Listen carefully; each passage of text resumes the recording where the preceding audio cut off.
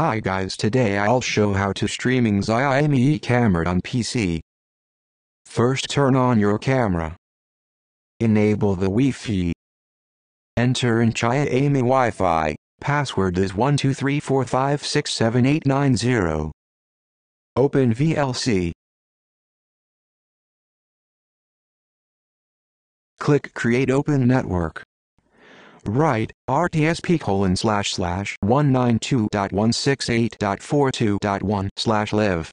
Start a video on the Xiaomi.